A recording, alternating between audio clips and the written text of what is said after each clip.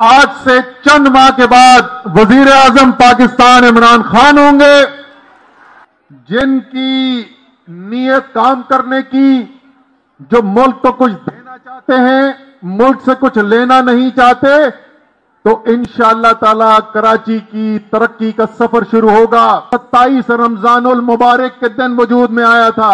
ये अल्लाह ताला की ये देन है मुल्क। एक कराची में बैठी हुई खातन करेंगी। सखर वाले करेंगे, लाड़काना वाले करेंगे, लाहौर वाले चारसदा वाले, कोयटा वाले करेंगे। ना लंदन में होंगे, ना अमेरिका में होंगे, ना पाकिस्तान के बंद कमरों में होंगे। सिर्फ़ और सिर्फ़ फैसले पाकिस्तान के अवाम करेंगे। बल्ले के खौफ से साथ उन्होंने मिलना शुरू कर दिया है।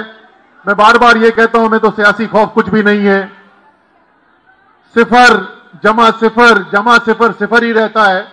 वोट शहर के अंदर बल्ले का है, वोट शहर के अंदर इमरान खान का है, उसके अलावा किसी का वोट नहीं है। तो ये लोग मिल जाएँ साथ तो अच्छा है तीन तीन का अलग शिकार करने के बजाय एक साथ ही शिकार करेंगे। क्यों जी, महमूद भाई तैयार हैं? महमूद भाई तो अभी कर चुके हैं शिकार। सिर्फ़ दो तीन महीने पहले की बात है। यहाँ पे केमाड़ी के इलेक्शन के अंदर, कुरंगी के इलेक्शन के अंदर राजा अदर ने भी बड़ी मेहनत की थी।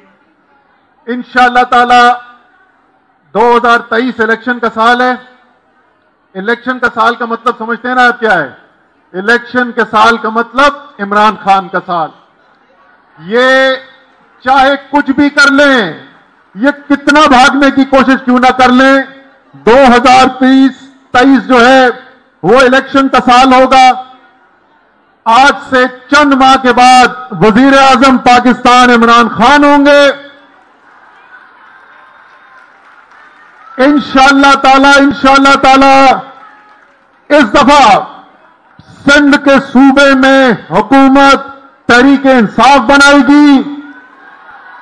इसलिए ज़रूरी है कि आज से नहीं, अगले एक हफ़्ते आपने मेहनत करनी है, खास तौर पे पंद्रह तारीख को मेहनत करनी है। घरों से निकलना है, अपने घर वालों को निकालना है, मोहल्ले वालों को निकालना है, बल्ले के ऊपर मोड़ लगानी है। ताकि कराची का मेयर भी तहरीके इंसाफ का हो। ईमानदार हो मेहनती हो।